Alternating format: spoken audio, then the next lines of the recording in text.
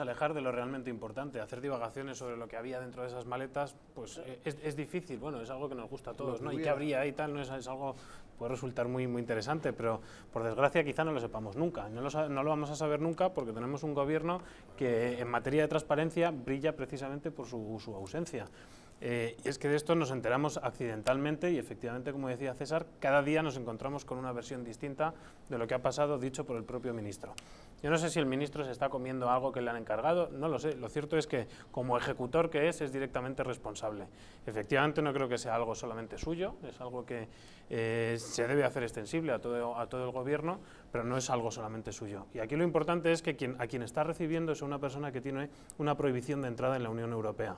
Y aquí lo realmente grave es que nuestro presidente y nuestro ministro están contraviniendo una orden y un acuerdo de la Unión Europea. Eso es lo realmente grave. Y que eso, precisamente sabiendo, y que además como hoy ha publicado El Mundo, que se sabía con 24 horas, sabiendo que esa prohibición estaba vigente, mm, la reciben en el aeropuerto de Barajas de una forma clandestina y ocultándole a los españoles que venía esta persona y a qué venía. Lo realmente importante es eso.